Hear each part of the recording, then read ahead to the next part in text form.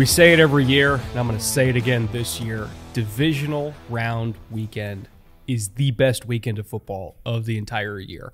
There's always some stinkers in wild card weekend, you know, because huge variations in quality of the team. I'll, I'll say it nicely. It's generous, generous. Once you get into the top eight, though, like everybody's great, and that's usually where we get the best games. You know, I always think back uh, like one of the best football games I've ever seen. 2011 division round game, Saints 49ers down to the wire, absolute war from start to finish. Like every year we get division round games just like that. Cuz generally if you make it this far, you're going to be evenly matched or at least close to evenly matched against everybody else. So, uh, I'm excited. It's one of my favorite weekends of the year. Uh, every single matchup this weekend seems just insane both narrative wise, matchup wise. Uh, I'm pumped. How are you, EJ? I'm great. Buckle up, get the snacks. Just make sure you've got the calendar clear, you got your phone silenced. Like, this is going to be really quality football. This is the best football of the year. This is what we wait for. This is, you know, the cream rising to the top. Any analogy you want to use. And yeah, as you look down, as we were picking these games, it was like oh yeah, this could happen, that could happen. Oh, I can't wait to see how this matchup goes, and that's every game. And I, you know, I don't, I can't think of a weekend, you know, in the regular season or or even earlier in the playoffs where it's like that, where every single game is just going to be nails, going to be great. Before we get into previewing all four division games, uh, do you want to touch up our uh, coach opening discussion from from last week. We recorded on Tuesday of last week, and then like the next day, uh, Belichick moved on, and Carroll moved on, and Saban retired, and uh, you know, like be- between last episode and this one, the Huskies just all went either to the NFL or to Alabama. So it's been uh, it's been a wild week on the coaching carousel. Uh, we had a retirement, well, not retirement, a mutual parting of ways in New England, as well as naming a new head coach in New England since we last recorded. Uh, what was your first impression of the Jerod Mayo hiring? It cut through the noise a little bit. We've been hearing that Mayo's the sort of been the hand groomed successor in New England from New England beat guys, folks that are inside that organization or or bump up against it. Not very typically a talkative organization, the Patriots, but you know, best kept secret or worst kept secret we talked about last week was yeah, when Belichick moves on, if that's an orderly transition, Mayo's the guy. He's he's the hand tap successor.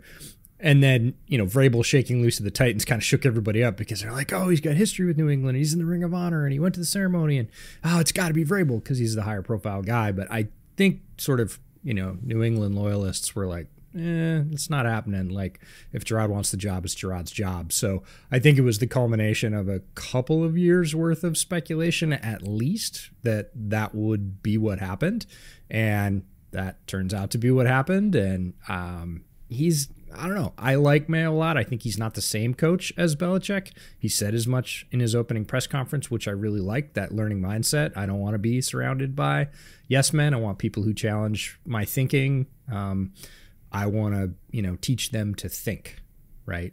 And that is, I think, a great mindset for a league where we just saw it this year. Things change rapidly, uh, week to week, within a season, within a team, and you have to keep up. You have to adapt. You can't just say, this is the way and we're going to do it and we're not going to change because you'll lose. There's been uh, a lot of speculation over the years that the reason why Josh McDaniel. Remember when Josh McDaniel was going to be like a coach in Indianapolis for like 12 hours, and then all of a sudden it was, oh no, we're going back to New England. Um, there was speculation that he went back to New England because he thought that he was just going to be Bill's successor, and then all of a sudden, seemingly out of nowhere, then it's like change my mind, going to go be a head coach in Vegas. And that's when, you know, people first were like, okay, somebody must have told Josh that he wasn't the the heir apparent then because he wouldn't leave New England unless he knew he wasn't going to get that job. And then you package that with, I think it was one year later, Jerod Mayo got the extension. Um, and that's when people started kind of putting two, and two together of like, oh, like that's that's who it is, right? Um, yes, the Vrabel thing certainly threw us for a loop a little bit because we know that Bob Kraft loves Vrabel. And if Jerod Mayo wasn't there, like Vrabel probably would have already been named their head coach. Uh, but the fact that they had been, for lack of a better word, grooming Mayo to be mm-hmm. this for what, four, five years now, uh, it's about as orderly a transition as I think any franchise could possibly hope for. You know, even when again they call it mutual, it wasn't mutual. Like they they they they push Bill out the door. But even under those circumstances, it's it's the most orderly transition that I think could have possibly happened. Certainly more orderly than the one that happened in Seattle, where similar kind of thing. Like Pete Carroll didn't want to leave, and they pushed him out the door and they said he's going to be like a what, what's the term they use ambassador or like they they pushed him upstairs. Or? They didn't push him out of the organization, but they pushed him off the sideline for sure. And yeah, I don't think the term has been settled on, or if it has been, I haven't heard. You know, nobody's really clear about what roles and responsibilities he's going to have. The bottom line is he's not going to be the coach of the team. He's not going to be an assistant GM. Uh, John Schneider is the quote unquote winner is the guy with the voice that's going to be listened to. He's consolidated his power. It was a move by Schneider to do that. And we'll see. It's a similar situation of the team saying, we don't, we no longer need what you bring us on the sideline. Do you want to do something else? And with Belichick, I think it was, are you willing to change? Are you willing to give up personnel control and everything else? And Bill said, nah. And with Pete, it was more, not, we've, we've seen what we're going to see uh, you gave us your plan for fixing this. We don't agree. Thank you for your service. We love you. We'll keep you around, but you don't get to coach anymore. What a lot of people don't realize too is a few years ago, um, remember when the Seahawks were really bad at drafting for like five years, six years, yeah. and all of a sudden they started nailing every single draft. Right before that, John Schneider threatened to leave. Like he's like, mm-hmm. I'm I'm sick of this. Like I'm I want out.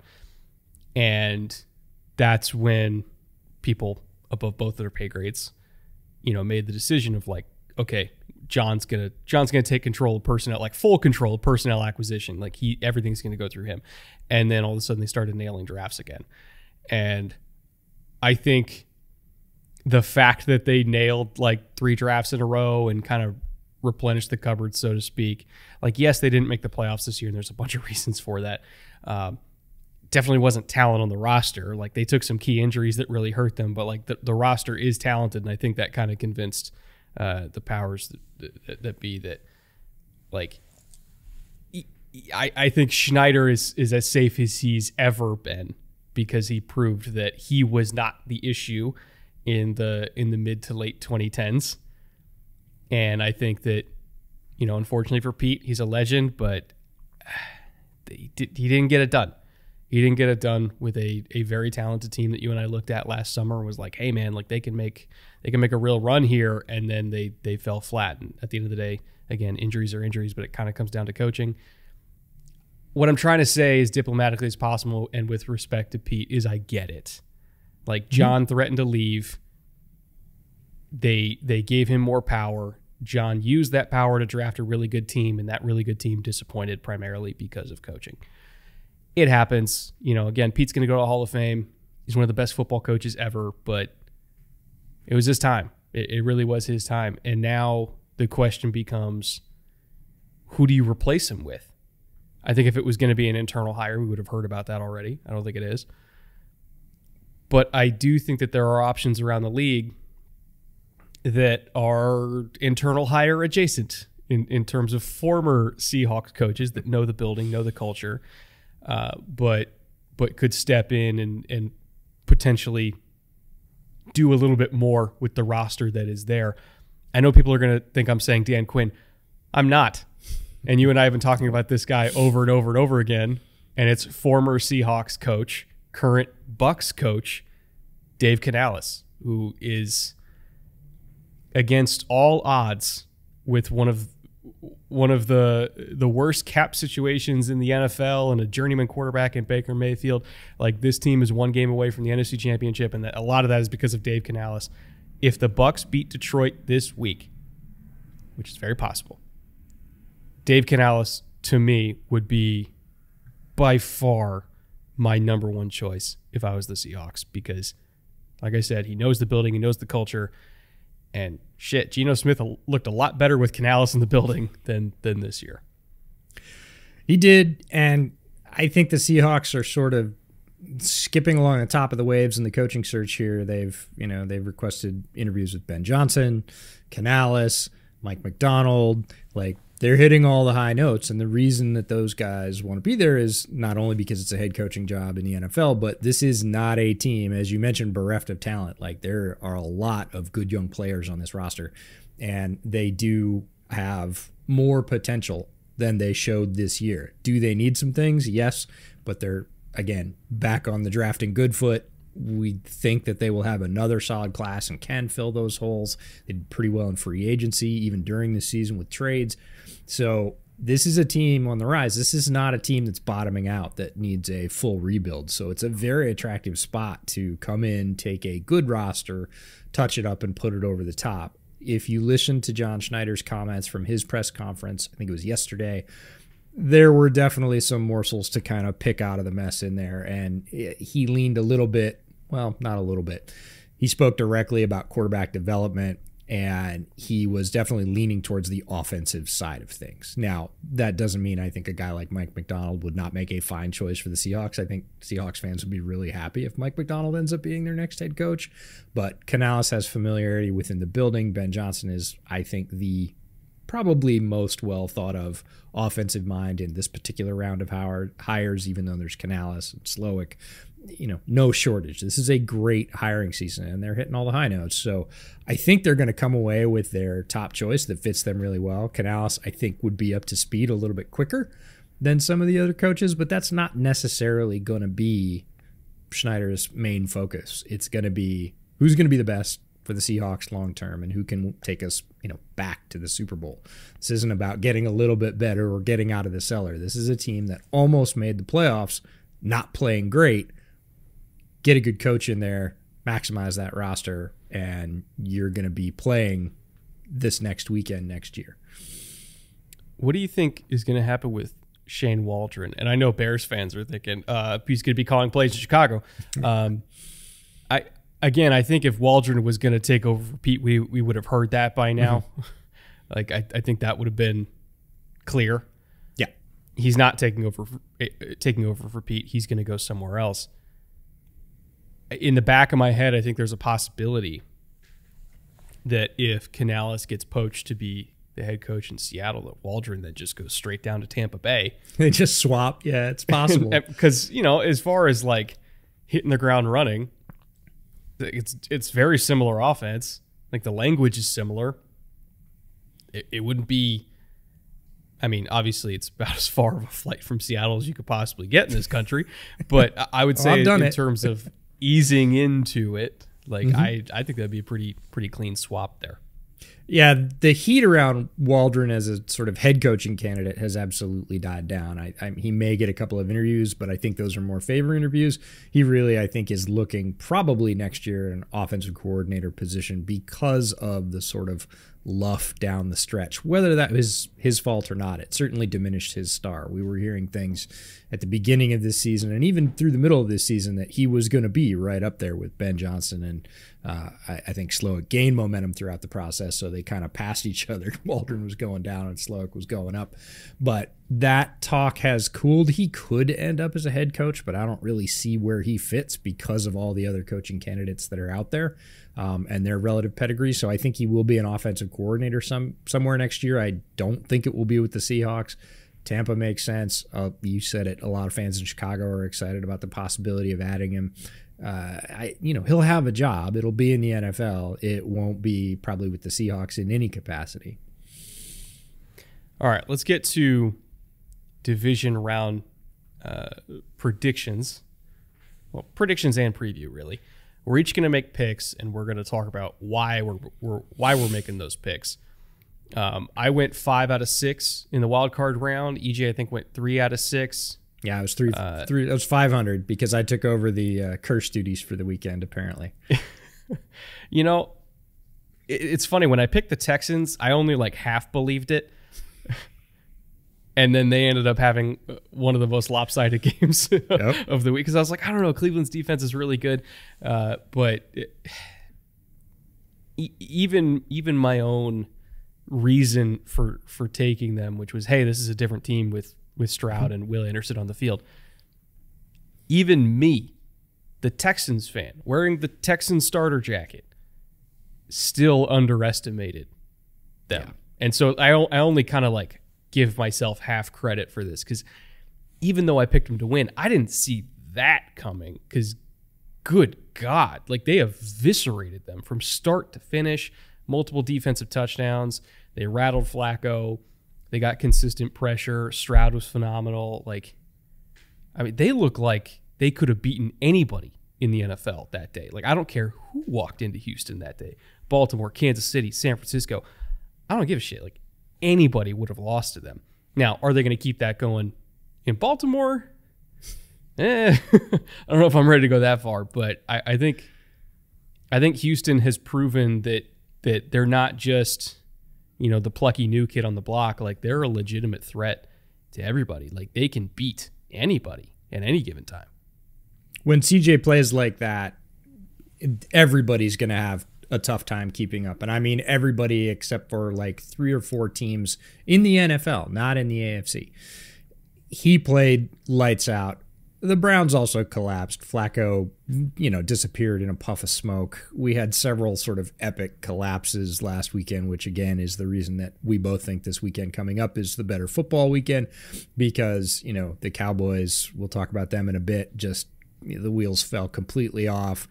The Eagles, you know, disappeared in a puff of smoke. Uh, there were a bunch of them. The Browns sort of went down, but to your point, the Texans' defense was all over it. The pass rush was there uh, on both sides with Greenard and Anderson. CJ was unstoppable, unflappable, super cool, very accurate, made some ridiculous, I'll say, bail save throws, fadeaway jumpers. I mean, whatever you want to call them. He made some, you know, unreal throws that rookie quarterbacks typically don't make. Most quarterbacks typically don't make, rookie or not. And yeah, it definitely had the feeling of doesn't really matter who's in front of us today. If our quarterback is playing like that, you're not coming away with a W. Now, when it comes to uh, to picking these division round games, which is obviously our, our, our main goal today, even as well as Houston played last week, and even though they they demonstrated that that nobody is safe against this team, I don't care if it's rookie quarterback, rookie head coach, rookie offensive coordinator, like young roster, like I, I get it. They showed nobody's safe, but I'm still not a hundred percent ready to go like full homer and say they're gonna walk into Baltimore of all places and, and knock off the one seed. It's possible. Mm-hmm. It's very possible, but highly unlikely. Like I think, I think Cleveland. I mean, hell, even Cleveland themselves, very different team. You know, when they're at home versus on the road. You look at like just the defense alone. Best defense in the NFL when they're at home like number 32 when they're on the road. Like it's it's the weirdest dichotomy.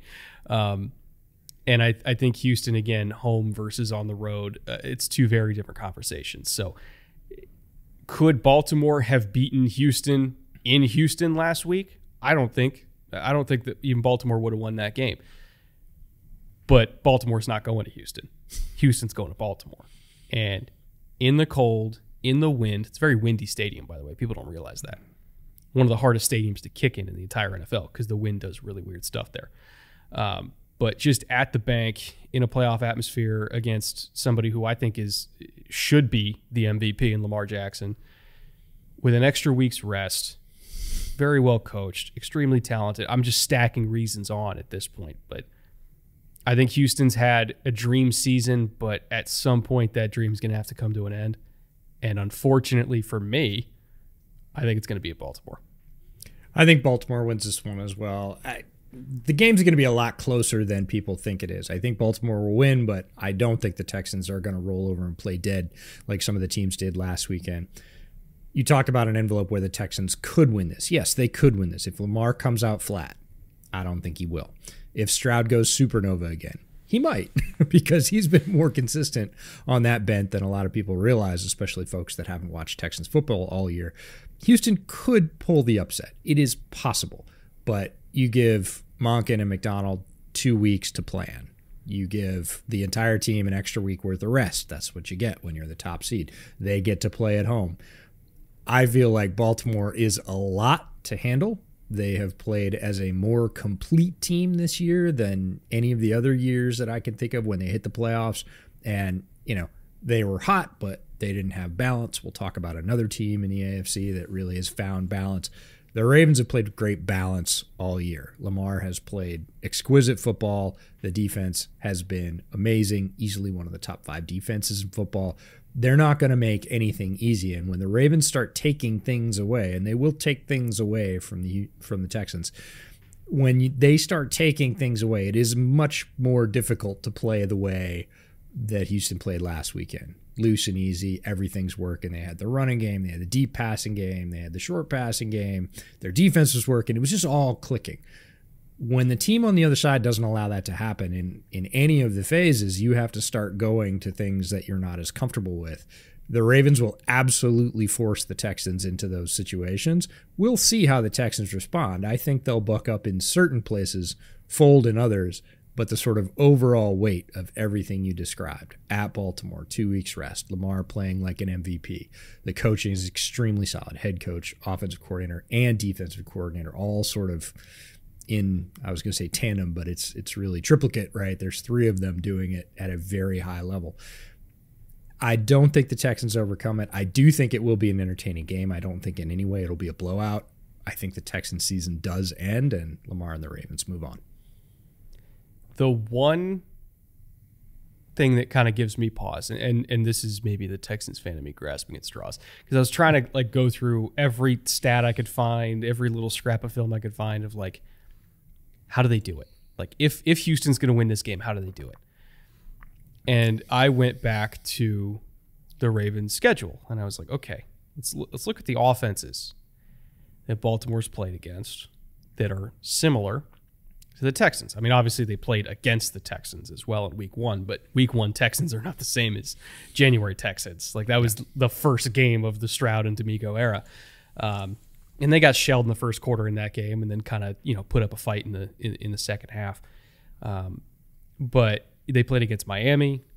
They played against San Francisco, you know, two similar offenses that, you know, have similar makeups in terms of personnel groupings and, and, and concepts and everything like that. You know, Houston is fourth in uh, in their usage of 21 personnel this year. San Francisco and Miami are just ahead of them. You know, at number two and number three. So, I was I was looking at how Baltimore specifically plays against 21 personnel because they're going to see that probably a lot against Houston uh, as long as Andrew Beck is healthy. He's he's dealing with a back injury, but I, I assume he's going to be playing. I mean, if, if, Houston's without their fullback in this game, as odd as that sounds, like that's going to completely throw a wrench into this whole thing. But if Andrew Beck is playing, I'm going to assume there's going to be a lot of 21 personnel usage. Uh, and there's going to be a lot of you know play action, deep shots down the field, all the normal Texans type stuff. And so I was looking at how Baltimore plays against those personnel packages and the specific coverages they use. And what I found interesting was that Baltimore played against 21 personnel from San Francisco and Miami differently than they did against Houston. And maybe part of that is they they weren't really sure what to expect from Slowik and Stroud and his first game. They didn't really have anything to study. But then I was kind of going through all the other games that they played against 21 personnel, and I, and I noticed that against quarterbacks with stronger arms, they respond to a fullback being on the field differently. And Stroud, we know he's got a hose. Like that's something they knew about Stroud going into this year, just because they could watch him at Ohio State, be like, oh yeah, he's got an arm, right? Um, but against Purdy and against Tua, they played a lot, and I mean a lot of half quarter quarter, especially when the ball was on the hash. So they'd play quarters to the short side. They'd play cover two uh, to the field so that they get uh, a hard flat to the field to help against the screen game. You know, they didn't think that those two quarterbacks, Purdy and Tua, had had the type of cannon necessary to hit that hole shot against a half field safety to the field anyway. And it was wildly effective. And they were mostly a nickel as well. Like even against 21 personnel, they were mostly a nickel, but it was a 3-3-5 nickel. So Hamilton would kind of play like a quasi linebacker spot to the field. You had Michael Pierce, um, you know, lined up as a, a six technique over a tight end. Like it was, it was hilarious, honestly. Like so, some of those reps just tossing Kittle around.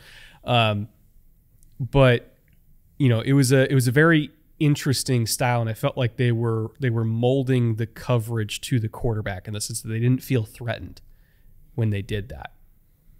Contrast that to how they did it against Houston, and it was like we are in cover three. Like we are not giving the post. We are playing cover three. Fuck you. We're not doing anything else. And it was such a different style of defense. And when we've talked all year about Mike Macdonald, you know, coming out with kind of a new defense every single week and playing everybody differently. Like that's the kind of stuff I'm talking about. They were not going to give CJ Stroud the post in that game. They just weren't going to do it. And so I kind of think that we're going to see the same thing again in this game, which is against 12 personnel against 21 personnel. We're not going to see any of the two high stuff that we're, we're used to seeing from Baltimore. It's cover three. We're playing you straight up like you're going to have to mount 10 11 play drives and just run into a meat grinder. Because if we try to do all the fancy stuff we normally do cj and nico were one throw away. Like san francisco had them like they had them schemed up. You know they got brandon aiyuk like running down the field four yards of separation just giving a little double move to a half field like they had it but like they didn't have it right because they don't have they didn't have the offensive line to hold up and they didn't have a quarterback that honestly had an arm to throw it 65 yards down the field. Guess what? CJ Stroud can do that, and the Texans' offensive line is better. So I think that we're going to see an oddly boring defense from Baltimore, even though stylistically Houston runs a lot of the same stuff that San Francisco and Miami do. We're going to see an oddly boring style from Baltimore because I think they're going to be scared shitless to play anything exotic. I, I, I get it. It's a rookie quarterback. You think, oh, we're going to throw the kitchen sink at him. He's not going to know what he's going to see. I don't think they're willing to do that. I really don't think they want to test it. I think they're going to make they're going to make Houston just out execute them rather than try to trick them because if they try to trick them and they get caught, mm-hmm. the same thing can happen to them that happened to Cleveland. And trust me, you don't want to fall behind against Houston. Not with those offensive tackles against Jonathan Greenard and Will Anderson. You don't want to fall behind. So uh, prepare for a boring game if you're not a Ravens or a Texans fan. Uh, but I think that's kind of the only thing they can do. I think it'll be a boring first quarter for sure because they, like you said, they don't want to. It's like two fighters feeling each other out in the in the first round. Like nobody wants to open themselves up to the kill shot and mm-hmm. you can do everything right against the Texans. You can get pressure into Stroud's face, and he's going to fall back and literally flick it 35, 40 yards to where nobody is, and then somebody's going to run under it. Like he's got that kind of arm with a guy in his face falling. You know, every mechanical thing you can think of for quarterbacking is wrong. And he literally just yoink. Yep and it's 35 40 yards. So you can do everything right and still get burned. So i think they're going to be somewhat conservative. Again try and keep the lid on keep the cap on not get burned. No big plays at least on defense in the first quarter. So i would imagine Macdonald, he's going to vary some coverages but i don't see the kitchen sink kind of zero approach because he knows. He knows he doesn't have the guys to play that right? Because you're not going to have enough coverage in the back end to hold up against somebody like Stroud who needs one shot. And if it comes open, he can hit it. And he's not going to hang mm-hmm. anybody up. He's going to put it over their head and they're going to keep running. So I think conservatism will, you know, uh, playoff football is always a little bit conservative because, again, nobody wants to make the big fatal mistake. And then it gets more and more desperate, which is one of the coolest things about playoff football is as as you get past halftime, man, the desperation cranks up. This is it. If we lose this, okay, now we got to take some chances. But I don't think those chances are going to be early for the Ravens on defense. It is kind of funny how how playoff football. It's it starts out slow and then everything happens all at once. You know, like the Cleveland Houston game. Yeah, okay, they're trading shots in the first half, and then oh my god, it's over Yeah, you know? two interceptions from Flacco, and you and I were messaging during that, and I Flacco threw the first one, and I thought, well, that might be enough to tip the scales right there, as well as the Texans are playing. And you're like, I'm not, I'm not ready to. And like as you were typing, I'm not ready to. He threw another one, and I was yeah. like, how about now? You feeling good now? So it does. It's it. You know, things hold even, and and everybody wants to kind of hold fast and and take those first couple punches and keep standing and then you know somebody breaks lets guard down takes one on the chin gets a little woozy and then you know it gets desperate pretty quickly. And I think that's one of the greatest things about playoff football is you can just feel it when you've watched as much playoff football as you and I have. You can literally feel it. Like I find myself getting anxious. I don't get anxious watching football games, even for my team.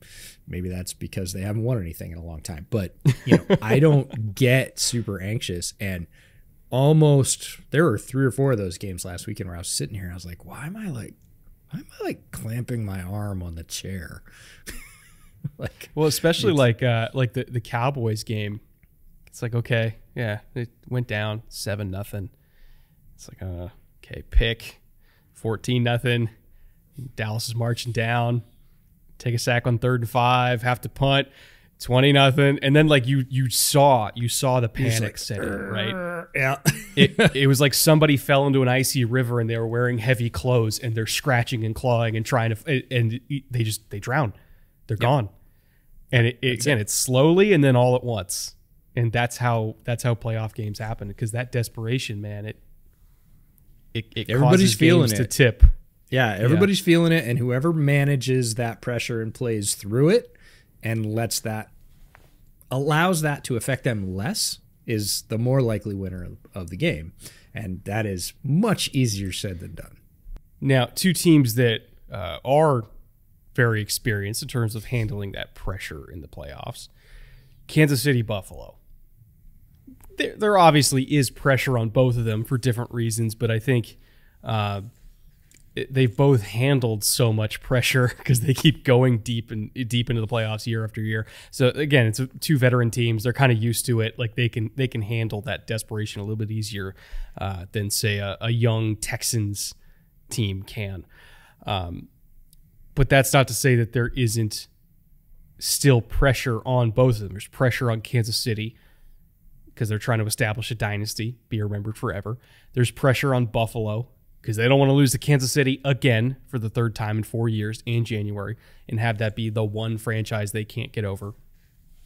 So there there is a certain uh, there is a certain sense of pressure on this game, but I think both teams have done this song and dance so much, especially against each other, so much at this point that if anything, this could be the most even matchup of the weekend because I don't think that either of them are just going to crack, right? I don't think it's going to be like like a Cleveland. I don't think it's going to be like a Dallas or or or even Philly, where like one thing goes wrong, and they're just done. Like I I think if any game is going to be a back and forth, you know, just constant lead changes, going down to the last possession. Like this is the one that that truly is even to me. Um, that being said, I am going to go chalky and take Buffalo. And I, I have a few different reasons for that. Um, but I also want to caution people against this narrative that, oh, the Chiefs are fraudulent. They only won because mm. it was 30 below and the Dolphins were banged up and yada yada. Like, no. Like, even me, who's been a, a healthy skeptic of the Chiefs this year. Like, even I don't think this is the same Chiefs team right now that we saw two months ago. Like, this is a better offense than they were two months ago. They're still an elite defense, they're still incredibly well coached. Do they have flaws? Yes. But I don't think they're as glaring uh, as they were, say, around Halloween or early November. Like, this is a real team. Like this is uh, unfortunately for Buffalo, this is Kansas City peaking at the right time. Mm-hmm. I'm just taking Buffalo because I think their peak also is happening at the right time, and I think their peak is slightly higher than Kansas City, and I'll, I'll kind of get into that in a minute. But like, I want to caution people against taking Buffalo in a landslide here. No, it's not going to be. It's going to be the closest game of the weekend. It's going to be an awesome game, and it's because of the setup. These two fan bases, these two teams, they're very familiar with each other. They do not like each other. Uh, they've played each other enough that there is vitriol between the fan bases, and it's going to be an awesome game. It is going to be close. The weather looks like it's going to be a little bit better, better in Buffalo than it was in Kansas Ish. City.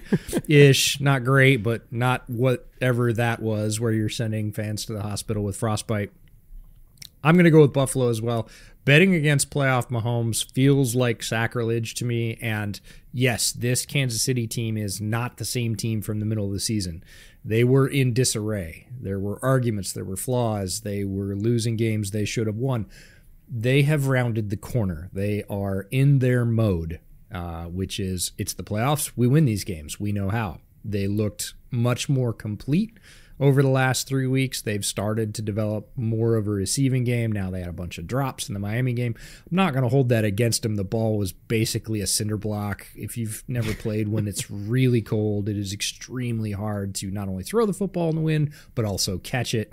Um, we saw guys like Kelce, who typically have very good hands dropping the ball. So I'm not going to hold that against him.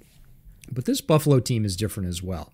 They're bringing more balance than they have to this fight before. Again, Buffalo has always leaned pass heavy. That pushes Josh into hero ball. They've not been able to run the football. This team, this Buffalo team, can run the football, and they do. They don't forget to. Other Buffalo teams could run the football, but they would just handily forget to and end up with like six carries for the entire game. This is not that Buffalo team even with that, both teams peaking at the right time, Steve Spagnuolo is as in his bag as any coach in the NFL right now.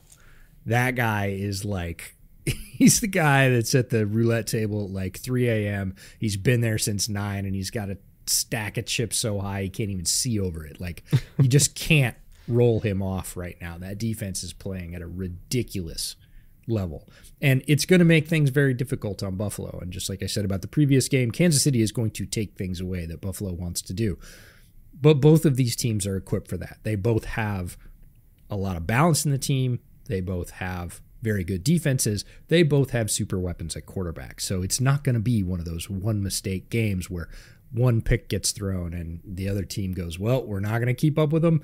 Look, you got Mahomes on one side, you got Allen on the other side. They can keep up with just about anybody.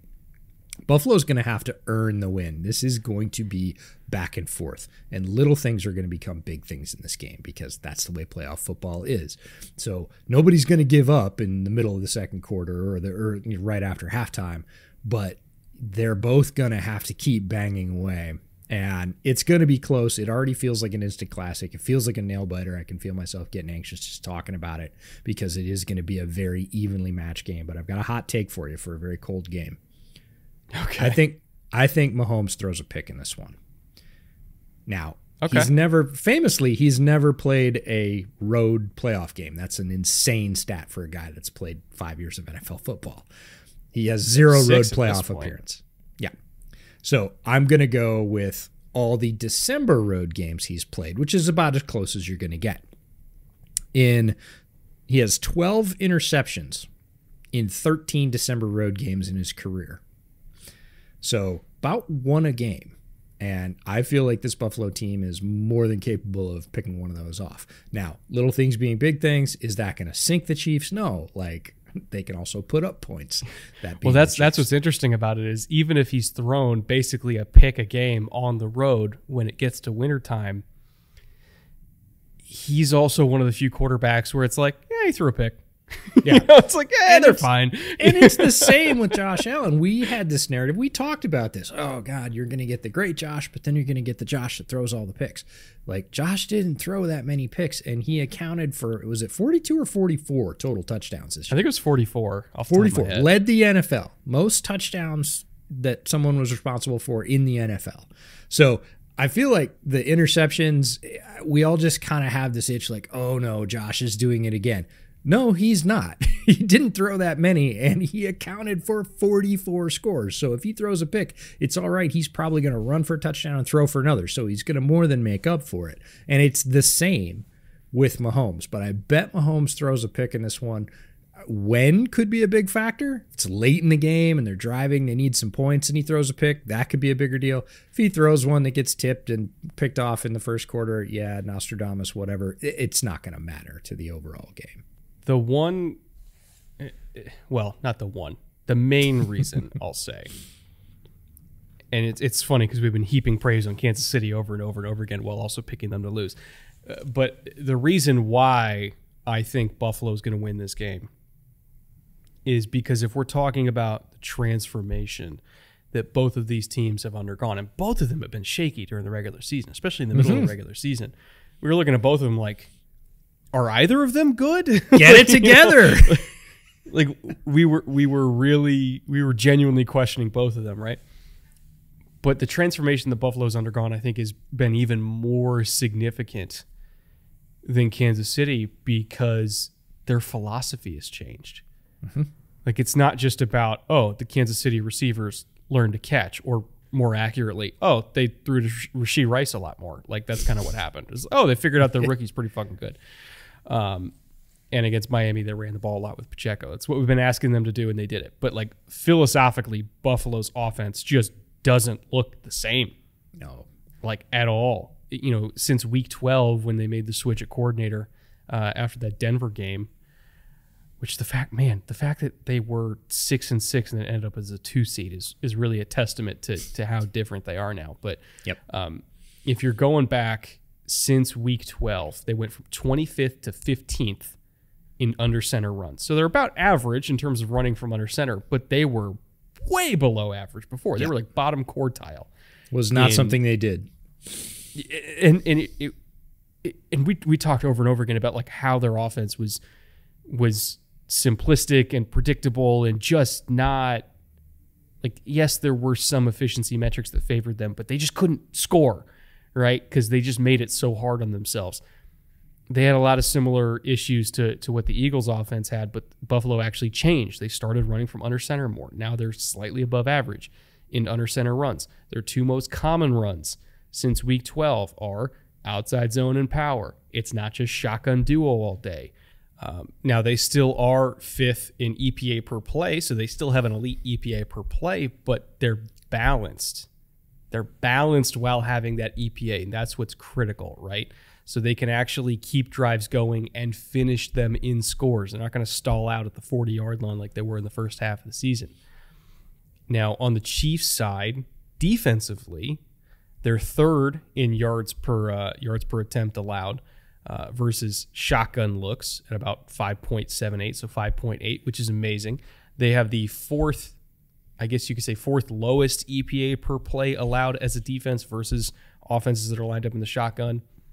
But under center, which is what Buffalo's doing more now, they quote unquote drop to 10th in yards per attempt allowed. So they're just well above average instead of like straight up elite. But in terms of EPA per play allowed, they go all the way down to 19th when the offense is under center. Uh, they, they allow a lot more explosive gains as well when the offense is under center. So, all that to say, the new style that Buffalo plays in, which is placing a larger emphasis on being under center, hard play action fakes, shots down the field from under center, you know, running outside zone, running power, you know, being more multiple and more balanced being more I mean, it's not Shanahanian, but it kind of is in terms of uh, you know the direction that they're going. Like they're not all the way there. Like they're not all the way a Kyle Shanahan style, or else they'd be like fifth in under center runs. But like they're more to that side of the spectrum now, and that side of the spectrum against uh, against the Chiefs defense specifically tends to have more success. So again, neither of these teams are the same as they were in October, but the changes philosophically that Buffalo has made are more significant, and they happen to to be moving towards the style that the Chiefs can struggle against a little bit, specifically um, because they run so much two high stuff. I worry a little bit about Spags in this game. Like I, again, it's going to be low scoring or low scoring ish when you have two super weapons at quarterback on the field, but ultimately, I think the changes that Buffalo has, made have been more significant and will carry them slightly slightly ahead of Kansas City. Again, not going to be a blowout. Maybe like a two point win, three point win max, but had to choose one of these teams. So I got to go the Bills. Yeah, Bills are funny now. They have momentum, and I, momentum is a loaded word in football because people tell you, "Oh, momentum doesn't exist." I'm not using momentum in the football sense. I'm actually using it in the physics sense.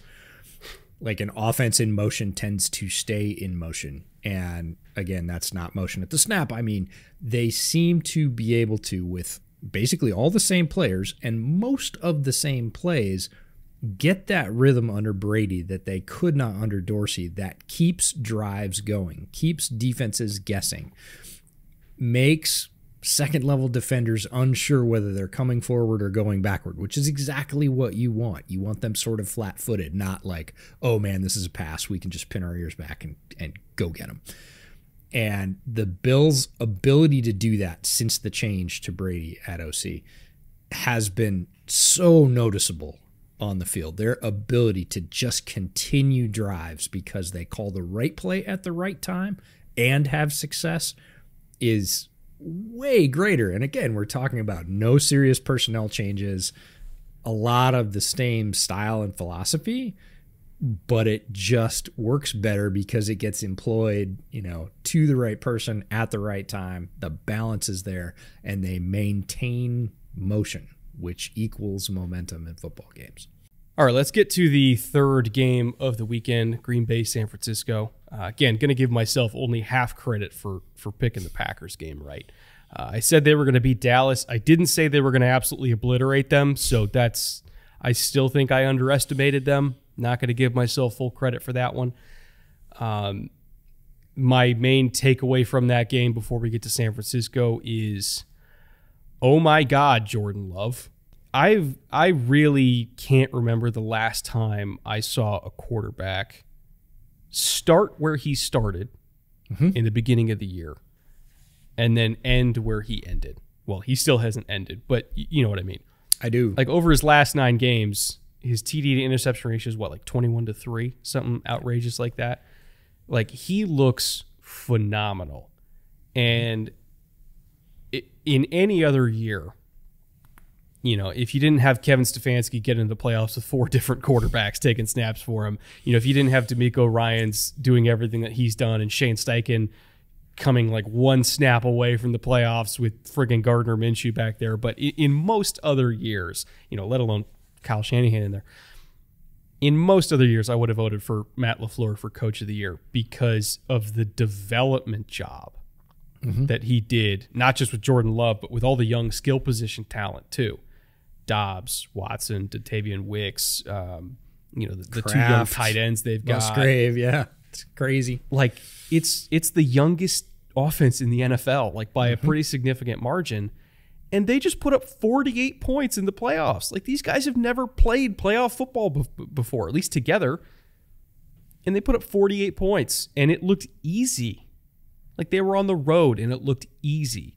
Jordan Love was spectacular, whether it was under pressure or a clean pocket. He was just throwing pinpoint dimes. The arm strength was incredible. His deep accuracy has improved tremendously. Like I go back to his tape at Utah State, and he couldn't throw a fucking fade route. And now with Micah Parsons in his face, he's flicking a sail route 40 yards down the field like it's nothing, right? Just the development job that Matt LaFleur has done to get all these kids ready to go it cannot possibly be understated how impressive it is. Like the Packers are a real threat here. Like mm-hmm. right now, Green Bay's favored by, or not Green Bay, uh, San Francisco's favored by nine and a half. No way, like no way. I am I am not taking San Francisco by nine and a half in this game. Like I think that's borderline disrespectful, and I say that as somebody who who roots for the Bears. That is disrespectful to the Green Bay Packers it's disrespectful to this explosive offense. You know, let alone, you know, the other side of the ball, you've got one of the best interior pass rushes in the entire NFL going up against a very leaky interior uh, offensive line for the 49ers. I, I don't know, man. Nine and a half seems super rich. It seems super rich.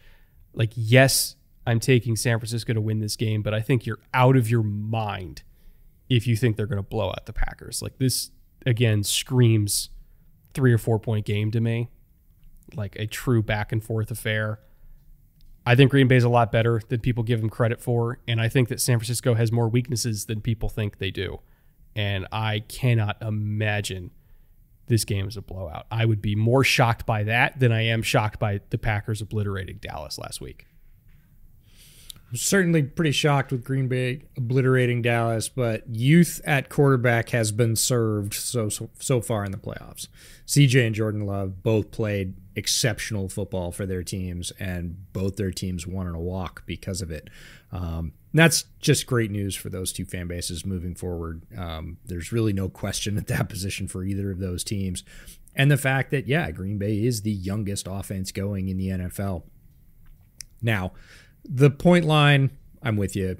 I think it's too high, but I'm also with you that I'm going to take San Francisco in this game because, barring a rash of injuries like the one that knocked San Francisco out of the playoffs last year, which was kind of apocalyptic in terms of a team's chances and all the things going wrong at once, outside of something like that, I think in this game they probably remind the Packers of how young they are. And uh, to paraphrase Katt Williams, a Chrysler 300 does look like a Rolls Royce Phantom until the Phantom pulls up. And I think Kyle Shanahan and the Phantom are going to pull up. And that offense and that defense are going to remind Green Bay that they are a very good football team and they do deserve to be there, but they're not winning this weekend. Um, if they do, it'll be one of the most exceptional stories in the NFL this year, period. It, the development story is already one of the best if they beat the Packers straight up, not due to injury, or sorry, if they beat the 49ers straight up, not due to injury, that would be amazing. It would be um, as surprising as the run Joe Burrow made in 2022, the year before, quote unquote, the Bengals were ready and they went deep into the playoffs. It would be very surprising to me. I get the feeling San Francisco's rolling into this game, um, not overconfident, but very confident of the outcome.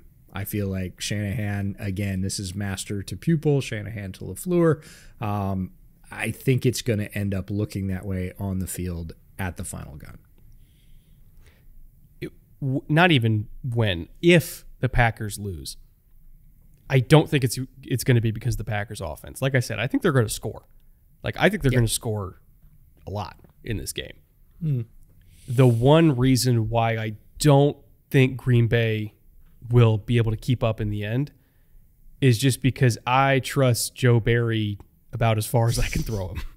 Like they, they played great against Dallas. I was going to say I said that last week, and then I was just waiting for him to fold, and it but th- that was like happened. an avalanche scenario, though, right? Yeah, it, was. it, was. like, oh, they're up twenty to nothing in like ten minutes, and then all of a sudden, like you get Dak, he's throwing a pick on fire zone when they ran slants, and Darnell Savage is reading it the whole way, and then it's yeah, the wheels the wheels came off all at once for both sides for Dallas.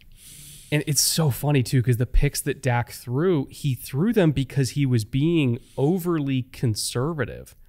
You that's know, playoff like pressure, man. i am telling you, that's just playoff pressure. You're down, yeah. like you said, you're down 20 early, and then guys that haven't done that all year. Dak has not done that. All, I mean, he's thrown some of those picks, but not like that. It was pure panic. It was, oh my god, I got to get points right now. And he literally started to press. You could see him press and the engine just blew up. Like that was it. They were done done at that point. It, it was it was one of the most fascinating games I've ever seen, just because it, for a veteran quarterback, yeah, you just you don't expect them to fold no. like that. And I don't mean that he gave up. I mean that he it's really more he got folded. He yeah, he just ran out of answers and it was so yeah. plain to see. You were like, I remember a point in that game where I looked up and I thought, because like you, when we were talking about the Texans and the Browns game, I was like, eh, before Flacco threw that second bad pick six, I was like, I, you know, they could get on a roll. The Browns could get on a roll. They could get back in this. And I felt that way in the Dallas game until I didn't. like you looked up and you were like, oh no, they're they're not gonna find it. Like mm-hmm. they can find it. They have the talent to. They could do it at any minute. That's a big strike offense has been all year. But they're not going to do it today. They're just not. They are sputtering in every phase and it it sort of hit me. It washed over me. I was like, "Oh no. like Dallas is going to do it again. They they fooled me all year. I was on the Dallas train this year. I put out a tweet said, "Hey, I bought in." I said, "No, this is different because the joke is, oh, is this your year? Is this it? Is this what it looks like?" That's always been the joke with Dallas. I thought they looked very different this year, and I thought they would finally get over that hump. And what's fascinating about it really is, you know, even even though the same Green Bay defense gave up 30 points to Carolina. Um, like schematically speaking, I didn't think that Joe Barry like schematically was really controlling that game. This was not like a, a, Mike Macdonald, like, oh, he has all the answers, right? But even the two picks that Dak threw, like it was on a whip route that Jaire just made a great play, but he mm-hmm. literally had CD on the corner route. It was they were playing cover one cross. Like you have a one on one with CD in the slot he's got leverage because they gave him a free release because the, the DB's playing from like an eight yard shelf. Like you got the you got the throw, Dak, make the throw, and he didn't do it. He instead on third and five decided to throw a whip route, and then Jaire was was sitting on it and, and picked it off. And then, you know, this is a, a Cowboys offense that's thrown more slants than anybody else in the entire NFL. And so Darnell Savage, you know, they called fire zone, and he was literally just looking at Dak like, "Are they going to throw it? Oh shit, they're going to throw it. Okay." And then he right took at it. me. yep. You know, but it, it's not like Joe Barry made some like crazy exotic no. call. Like he called cover one and then like the most basic fire zone you've ever seen, and Dak just short circuited. Yep. So I don't even think that Joe Barry really like, you know, other than maybe getting his his DBs prepared against the type of concepts sure. that like Dallas likes to run. Of like, hey, they don't run uh, quick outs to the field. They run return routes because they don't want to risk throwing to a hard flat, watch for the return route. And then Jaire was like, okay. Like, all right. I'll give him credit for the preparation, but it's not like he called an amazing game. His dudes just played the, the amazing, right? And so what I worry about with, with, San Francisco is when you're going up against Kyle Shanahan, you got Kyle Shanahan against Joe Barry, and Kyle doesn't really give you tendencies like that to prepare for. Like he's not going to give you, uh, hey, every time we we go into four strong on second and short, we're running three slants. Like they don't do that. They have like ten different concepts. You know, it's not a, uh, hey, we never throw flat routes to the field. We're going to run return routes. Like they don't give you those kind of tendencies that McCarthy was giving Joe Barry. So all that to say, I I worry a lot about about Joe Barry getting eviscerated in this game and giving up just enough points that Jordan Love and and Matt LaFleur can't keep up offensively. That's ultimately why I'm taking taking San Francisco to win this thing. Um, but next year, let's just say a change is made at coordinator. Uh, let's just say, oh like, could you imagine? Like, just and this is a nightmare scenario for Bears fans. So earmuffs if you're a Bears fan. Um, Jesse Minter in Green Bay. Don't even change anything talent wise. Matt LaFleur, Jordan Love, that same offense, and then you just pluck Jesse Minter out of Michigan and you put him in Green Bay. They win the division like easily, like going away. I understand Detroit's great. We're going to get to them in a second. They would not beat that Green Bay team. That's the one missing piece they have is a, is a defensive play caller that is as good as Matt LaFleur is an offensive play caller. Once they get that, I'd put them up against anybody. Like, yeah, then, truly, the, then they're the Ravens. Yeah, yeah, then they're basically the Ravens at that point. You're correct. Yep. And it terrifies me. I hope they keep Joe Barry. I really do, for selfishly, but I don't think they would. Yes. the resistance does not want to assassinate Joe Barry. Let's just put it that way. uh, all right. Speaking of the Lions, let's get to Tampa Bay, Detroit. I'm going to rip the band aid off here. I'm taking Tampa. People called me crazy for taking Tampa last week against the Eagles. Another team that beat we the both took Tampa the against the Eagles, so we, we oh you took Tampa too. Crazy. We we both took Tampa in that one. So I don't know why. That's I what got me to 500. oh, there you go. like go. if I'd there lost that one, I would have been I would have been two of six. Yeah, it wouldn't have been great. So, but you know, it's a similar reason to to to what we were talking about in that show. Like the Tampa team that lost early to Detroit is not the same Tampa team they are now. No. Like they eviscerated Philly because if you look at Tampa over the back half of the season, a lot of their issues they had early on, they significantly improved, especially when it comes to run defense, right? Um, and I like to put it plainly, I don't trust Detroit's secondary. I really don't. Like not against Baker, the way that Baker's playing against these receivers. You know, Trey Palmer, anytime he wakes up pissed off, apparently he's going to get like 300 yards. So uh, if he wakes up pissed off this weekend, pray for Detroit. But I just I don't I don't trust them to be able to handle Tampa through the air. And at that point, it comes down to okay, can Detroit's offense answer over and over and over again? Theoretically, yes, because they've done that multiple times this year. But schematically, I think they're going to have some issues because they're going up against a very blitz heavy defense from Tampa Bay. Like they blitz at the third highest rate in the NFL. And Jared Goff, when facing blitzes, he's he's been fine, Yeah, he's but he hasn't been super dominant, right? And and they don't get explosive plays against the blitz. Like you look at how San Francisco's handled it, like they get explosive plays against blitzes. Whereas Detroit, because they rely so much on empty protections, like 70% of all their protections this year have been empty protections, meaning they have five guys in protection, no running backs helping, no tight ends helping. Like they get like it's very um it's very Bengals-ish, honestly. Where like the Bengals were just like, we're going empty, we're gonna let Joe sort it out. We'll throw hot if we Yep. need to. Like Detroit does the same thing. Like they answer blitzes by throwing hot, which is why they're 25th in average depth of target against the blitz. They're 24th in big time throw percentage against the blitz. Mm-hmm. Like yes, Goff has a high completion percentage, and they'll get YAC and everything like that, and and he's thrown more touchdowns than almost everybody against the blitz, but that's because people blitz him so much because they know that they're going to protect with five and they're going to limit Detroit to just throwing hot over and over and over again.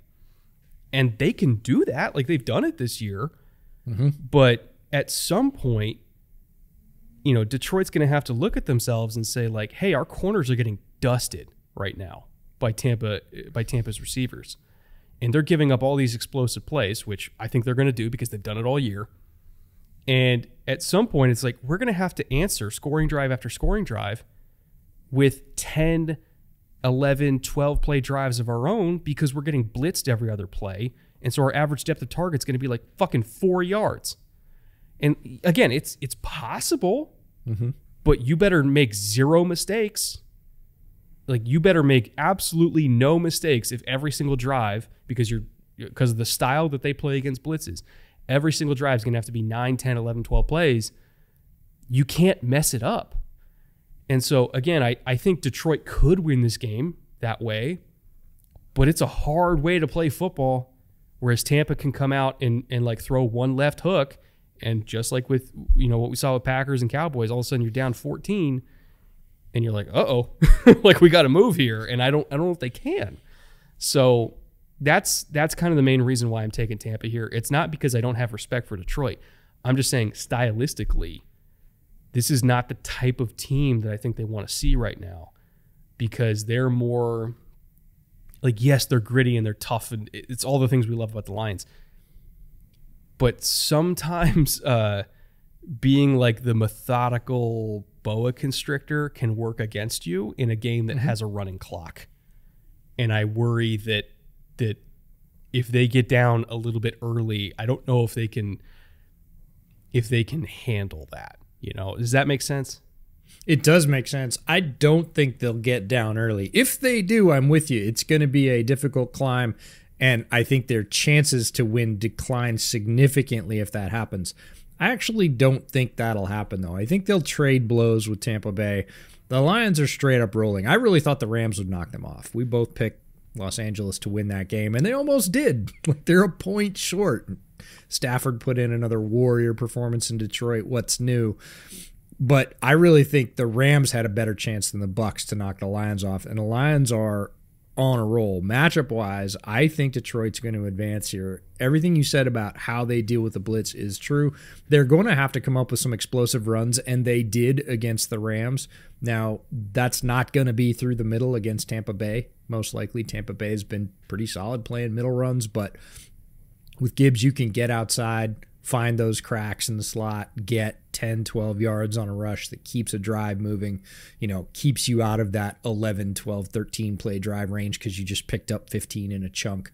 So they're going to have to have some explosive runs and they're going to have to get a little bit of YAC, and that is going to be difficult. They have receivers that are really good at it, but the Tampa Bay corners are really good. Tampa corners and safeties both are really good at limiting that. They're great mm-hmm. tacklers. They are heavy tacklers and they're sure tacklers, and they do not let you get a lot of free yards after the catch. So if you're throwing short of the sticks consistently, that's probably where you're going to end up, and that's going to put more pressure on Goff to try and have to make some of those throws. I wish Jameson Williams would evolve into what they drafted him to be. Hasn't shown really any sign of that this year. A couple of flashes, but not enough if there was ever a time, Mr. Williams, if you're listening to this, this is the game. You want to break off a 75 yarder over somebody's head? Like, go get it. Like, do it this game. That will help the Lions tremendously because if they get a little bit of a lead, they can stand and bang with anybody because that's the way they're built. That's Dan Campbell's philosophy. They know they're going to play tight games. They know they're going to play tough games. They've done that all year. I feel very confident about the Lions in that type of game. Getting down early, I would feel less confident. Getting a little bit of a lead early, I would feel like they're just going to kind of grind this one out and roll on that, you know, the crowd was electric. We knew it was going to be but I would say even more so than I thought it was going to be. I might have even underestimated that, and I thought it was going to be amazing. Um, this does feel like, and it's felt like this for most of the year. We were seeing Detroit fans early in the preseason who were traveling for this team. They this felt like the Detroit year and I think that carries them in this game against Tampa Bay, along with their ability as a football team. It's not just the crowd, you know, pumping up a bad team. It's the the crowd supporting a very good team that is fundamentally sound, and I think beats the Bucs this weekend. I think no matter what, we're getting a really fun NFC Championship because either we're getting the two teams that everybody kind of hoped for to be good this year. You know, San Francisco and Detroit going to, you know, two amazing offensive play callers, Ben Johnson versus Kyle Shanahan. Either we're getting that in the NFC Championship or we're getting like an NFC North Battle Royale, you know, part three of Green Bay versus Detroit. Or, and this is the scenario that I, that would just break every single, you know, expectation that we had going into this year. What if we get Jordan Love versus Baker Mayfield the NFC Championship game? Like, I, am all for it just because of how out of left field that would be compared yeah. to what we thought going into this year. Pure or, chaos. Or, or Kyle Shanahan uh, against Dave Canales. Mm-hmm. You know, Canales being again somebody we're bringing up as like potentially the new Seahawks head coach. Um, you know, maybe a preview of what's to come in the NFC West. Like no matter what happens this weekend, I think the NFC Championship is going to be an incredible story, an incredible matchup. So I'm kind of okay if any of them win. Uh, Lord knows, like Detroit, like I'm I'm I'm pulling for uh, their fan base because they've been through so much, and if they win absolutely 100, percent I would I'd feel great for them. But at the same time, you know, as a, as a child of a, a, lifelong Sooner fan who's rooted for Oklahoma since the '60s, I, I feel like I would be uh, doing my dad a disservice if I if I didn't pick Baker this week. He's he's just the right amount of spiteful that uh, I think he's going to hold C.J. Gardner Johnson's comments to, against him and and, and have a, a vintage angry Baker game. Did you see that, by the way? I did see that, and I you know, there's two sides to the Baker coin, and I think Baker is just he's been a lightning rod for his entire football career, even at Oklahoma. Um, and he fell sort of out of love with football. And actually, in the I think it was in the pregame stuff this last weekend, they talked about how his stint with the Rams was what rekindled it. When he got there, McVay said, "Man, you got six games. Who cares? Yeah, like just play. Just what are you going to lose? Nobody expects you to win anything, anyways. Like, get out there and sling it. Have a good time. Like, get back to having fun playing football. And Baker was like, Really? And McVay was like, Hell yeah, that's the Baker I need. Just go out there and, you know, do your bit. We know who you are. Like I've known you since, and they I think famously shared a flight going to the combine. Yeah, that's where and they first so, met. Yeah, so they've known each other forever, and Baker credits that as sort of taking the cap off because just his other stops, he'd been places and people had said, "Well, do this, but don't do that." Right? You you know, do the good football part, but we need you to tone this part down. And it eventually just builds up sometimes when you're in the wrong situation. And we'll say this about players or coaches like, it's just time for a new start. It's just time for a new place. He needs a fresh light. He doesn't look like he's having fun playing football. Baker's having a ton of fun playing football right now. Um, and you can see it in everything. Did you see the water bottle clip? Yeah. so the equipment manager hands him a water bottle. He tries to spray him with it like mid game. totally reminded me of like, uh, you know, San Francisco, like big drive for the 49ers, right? Joe Montana. And he's like, hey, isn't that John Candy? Everybody's like, "What, Joe? What's the play?" Like, just loose in the middle of a good football game, having a great time. And Baker's back there, and so yeah, if he moves on, great stories all around. Nobody expected Tampa to even be in the playoffs. Forget the NFC Championship if that happens. If Detroit keeps rolling, obviously a great storyline. They've waited. I said at the end of last week's piece, like, yes, I'm picking the Rams, but man, I really want Detroit to win the game because I just I think Detroit has earned it, and their fans have been amazing this year, um, and amazing for a very long time. This this feels like their moment, and I hope they get it. So we'll see. No bad no bad outcomes here. We got four great games this weekend. Uh, hopefully, if you're a fan of any of the teams we talked about today, we properly fired you up. Uh, if you happen to be interested in getting yourself uh, some some NFL merch, whether it's for your team or just generic NFL merch, or or even Or- better, bootleg NFL merch. You can find all those things uh, at our merch partner Homage. I'm actually wearing a, a Texan starter jacket from them right now, and it's very very comfortable. And all their hoodies are just so damn soft, and their t-shirts are so damn soft. So if you want any sort of bootleg uh, apparel or apparel to rep your favorite team, they also have crossover stuff for like NFL Blitz or. Uh, you know, Dead. if you're just feeling like you really want to support Jason Kelce, whether or not he retires, they have new heights stuff too. That's true. Yes, they're the New Heights uh, merch partner as well. And anything you get doesn't even have to be for our podcast. It can be for New Heights. But if you get it at the link in our description, we get a cut of it, and it directly benefits the show. So thank you to all of you who do that. Thank you once again to Underdog for sponsoring this week's show. Uh, hope you guys uh, made it through the first round of playoff best ball. Still a few more rounds to go. Uh, we also have uh, pick'em entries. I'll actually throw up my pick'em entry right now for those of you who missed it uh, for this weekend. You can either tail it or, uh, honestly, if you know what's best for you, don't tail it. Go completely against it, knowing my history. Either way, it's up on screen for you. Uh, you guys can find that at the link in the description below as well. If you use promo code bootleg uh, on your deposit, they will double that up to $100. So they will literally give you 100 free dollars if you happen to deposit 100. Not saying you have to, but that's the limit.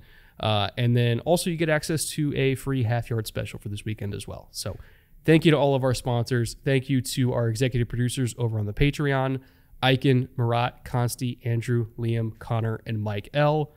Uh, one more note, specifically to our EPs on Patreon or anybody who's interested in becoming an EP, uh, we're going to have our Ring of Honor Q&A uh, live from the Shrine Bowl when EJ and I are out there at the Cowboys facility.